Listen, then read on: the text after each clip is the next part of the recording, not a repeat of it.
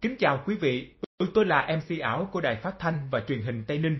Mời quý vị cùng lắng nghe bản tin trợ lý ảo điểm báo 11 giờ hôm nay, ngày 25 tháng 8 năm 2023. Thưa quý vị, mới đây, công ty than thống nhất tập đoàn công nghiệp than khoáng sản Việt Nam TKV đã hoàn thành đưa vào khai thác công trình trọng điểm hệ thống mô đồ ray kết hợp đầu tàu diesel nhằm nâng cao năng lực vận tải người và vật tư. Thiết bị từ mặt bằng mức 21m xuống mức âm 140m, cải thiện điều kiện đi lại cho công nhân, nâng cao hiệu quả sản xuất, kinh doanh của công ty. Để nâng cao năng lực vận chuyển người và thiết bị xuống các vị trí sản xuất, đồng thời tiết kiệm thời gian, sức lực đi lại của người lao động, tập thể lãnh đạo công ty than thống nhất đã có chủ trương đầu tư hệ thống mono kết hợp đầu tàu diesel phục vụ sản xuất trong hầm lò. Đến cuối tháng 11 năm 2022, công trình hệ thống mono kết hợp đầu tàu diesel có tổng mức đầu tư 27,4 tỷ đồng chính thức được khởi công.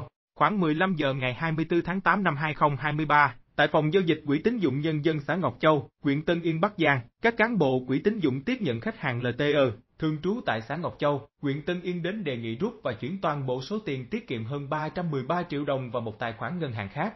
Quá trình tiếp nhận, thấy bà LTE có nhiều biểu hiện khác thường, bà Trần Thị Hà, Phó Giám đốc Quỹ tín dụng đã tạm dừng giao dịch, tiếp cận khách hàng, nắm bắt thông tin, tuyên truyền vận động, đồng thời thông báo cho Công an huyện Tân Yên. Nhận được thông tin, Công an huyện Tân Yên đã chỉ đạo Công an xã Ngọc Châu trực tiếp phối hợp với Quỹ tín dụng nhân dân tìm hiểu sự việc, tuyên truyền, giải thích cho người dân về các phương thức, thủ đoạn hoạt động của loại tội phạm lừa đảo chiếm đoạt tài sản qua không gian mạng. Qua đó, bà LTE nhận ra mình đang bị lừa đảo chiếm đoạt tiền tiết kiệm và hiểu rõ thủ đoạn lừa đảo nên đã không chuyển tiền theo yêu cầu của đối tượng.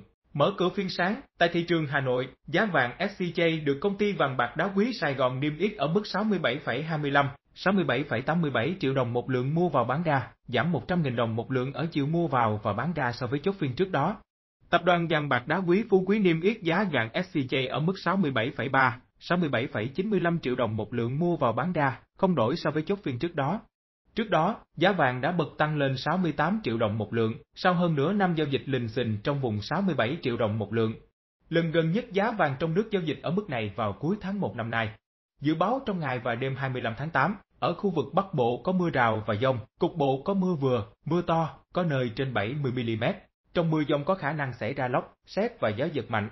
Mưa to cục bộ có khả năng gây ra tình trạng ngập úng tại các vùng trũng, thấp và nguy cơ xảy ra lũ quét, sạt lở đất tại khu vực vùng núi. Cảnh báo trong 6 giờ tới, tại khu vực các tỉnh miền núi, khu vực Bắc Bộ, Nghệ An và Thanh Hóa tiếp tục có mưa với lượng mưa tích lũy phổ biến từ 30 đến 60 mm, có nơi trên 90 mm. Khu vực Tây Nguyên và Nam có mưa rào, dông, riêng chiều, tối có mưa vừa, mưa to, có nơi mưa rất to. Gió Tây Nam cấp 2 cấp 3, trong mưa dông có khả năng xảy ra lốc, xét và gió giật mạnh. Nhiệt độ thấp nhất từ 20 đến 23 độ C, cao nhất từ 28 đến 33 độ C.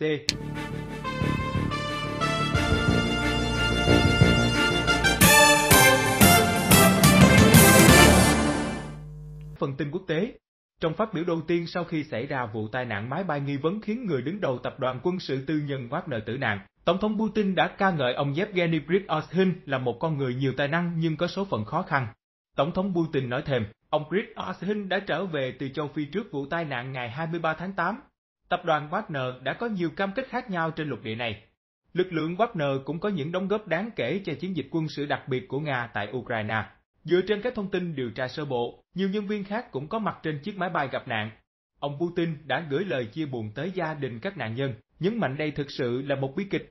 Nhà lãnh đạo Nga cho biết Ủy ban điều tra Nga đang điều tra làm rõ nguyên nhân vụ tai nạn.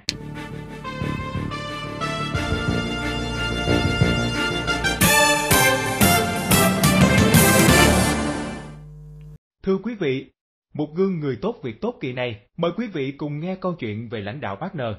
Nội dung được tóm tắt theo trang tuổi trẻ.vn. Làm sao để người cao tuổi hỗ trợ những người bị lãng tai, người khiếm thính có nhiều cách giao tiếp với người khác thuận tiện và nhanh chóng hơn? Câu hỏi đó được hai cậu học trò Nguyễn Hoàng Phú và Phùng Khôi Nguyên, lớp 8, trường trung học cỡ sở Mạo Khê 1, tỉnh Quảng Ninh cùng nhau đi tìm lời giải. Và ứng dụng GDFBuber, hỗ trợ giao tiếp với người khiếm thính, người già lãng tai đã ra đời. Ý tưởng phát triển ứng dụng xuất phát từ câu chuyện của bà Khôi Nguyên. Do bị lãng tai nên bà khá vất vả mỗi khi giao tiếp với các thành viên trong nhà. Nhiều lần Nguyên phải nói đi nói lại, nhiều lần bà mới hiểu được. Bắt đầu từ mong ước tạo ra một ứng dụng có thể giúp đỡ người khiếm thính, người cao tuổi khi muốn đưa ra yêu cầu hỗ trợ.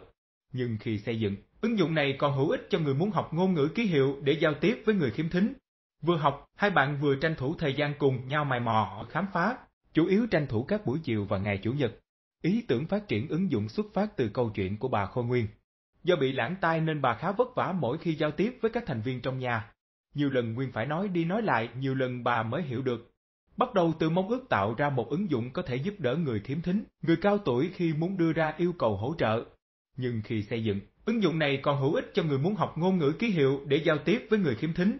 Vừa học, hai bạn vừa tranh thủ thời gian cùng nhau mài mò, khám phá, chủ yếu tranh thủ các buổi chiều và ngày Chủ nhật. Hai tác giả của ứng dụng này từ nhỏ đã có niềm đam mê đặc biệt với tinh học, sở thích khám phá máy tính. Ngoài kiến thức tinh học trên lớp, về nhà cả hai luôn tự mài mò tìm đọc thêm tài liệu, học thêm về ngôn ngữ lập trình để tập làm những thứ liên quan. Hai bạn nhỏ ấy vẫn đang tiếp tục phát triển sao cho có thể tạo ra phiên bản ứng dụng hoàn chỉnh nhất sắp tới. Trong đó, hoàn thiện hệ thống các câu giao tiếp giúp người dùng học được ngôn ngữ ký hiệu, tích hợp công nghệ AI với video để có thể ghi được một câu hay từ giao tiếp dễ dàng hơn với người khiếm thính.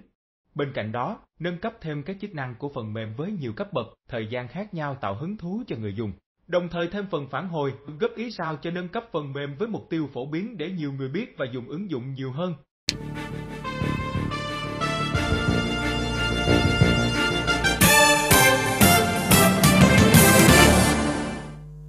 Thưa quý vị, nằm cách trung tâm thành phố Đà Nẵng khoảng 5 km, bãi đàn thuộc bán đảo Sơn Trà vẫn giữ nguyên nét đẹp ban sơ với các vàng mịn màng, nước biển xanh thẳm, gần đá nhấp nhô, chỉ khoảng 10 phút chạy xe men theo đường quan sa, qua khỏi chùa Linh Ứng Sơn Trà, du khách sẽ thấy ngay đường xuống bãi đạn. Đi bộ một chút xuống gần, toàn bộ khung cảnh biển được bao bọc bởi núi và những rặng cây xanh rì sẽ hiện ra, làm mê hoặc du khách. Bãi đạn gây ấn tượng ban đầu với du khách bởi khung cảnh quan sơ, những tảng đá nhấp nhô với đủ kích thước khác nhau, kèm theo đó là dòng nước biển trong xanh. Rất nhiều khách du lịch đã lưu lại cho mình bức hình sóng ảo cực đẹp tại vị trí này. Bạn có thể chụp ảnh tại các gành đá, bãi cát hay tại các nhà chòi. Hàng nghìn khung hình đẹp chắc chắn sẽ khiến bạn mê mẩn và thích thú. Điểm hấp dẫn của bãi đạn là dù gần trung tâm thành phố, nhưng vẫn giữ được nét mộc mạc, hoang sơ. Đến bãi đạn vào thời điểm nào trong ngày chúng ta cũng sẽ bắt gặp những vẻ đẹp riêng. Vào sáng sớm, du khách có thể tản bộ dọc bờ biển, hít thở làn gió mang hơi sương mát lành, cảm nhận đôi chân trần trên cát mềm mịn rồi ngắm mặt trời nhô lên dần dần. Bãi đàn được đánh giá là một trong những bãi biển đẹp nhất của Đà Nẵng bởi nước biển ở đây rất trong và sạch. Ngoài ra, những bãi đá chằng chịt ngăn làn sóng quá mạnh, chỉ để lại những gợn sóng vỗ nhẹ vào bờ. Khung cảnh này thật sự thích hợp để bạn ngâm mình thư giãn, ngắm nhìn bầu trời trong xanh. Với những du khách thích trải nghiệm thì bạn có thể thử sức thêm với hoạt động lặn ngắm san hô cũng rất phổ biến tại đây. Quý vị vừa nghe giới thiệu về bãi đạn vẻ đẹp dung dị, nguyên sơ, được báo du lịch.metro tham.vn đăng tải.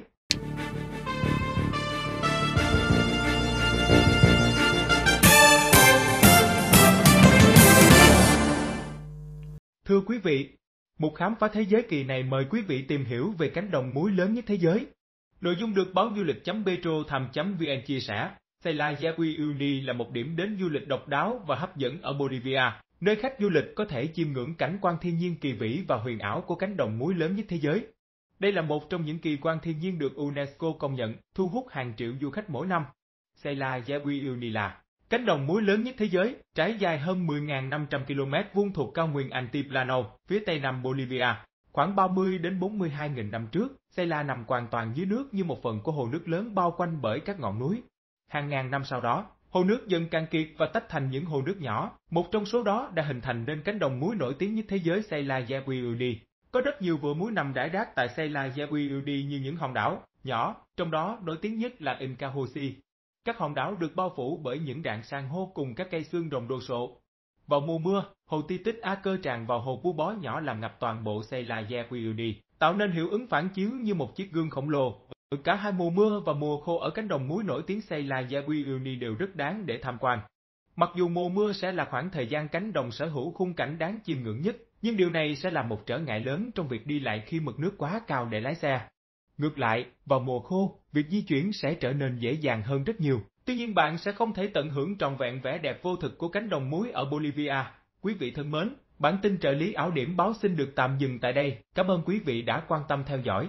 Hẹn gặp lại trong các bản tin sau. Thân mến chào tạm biệt.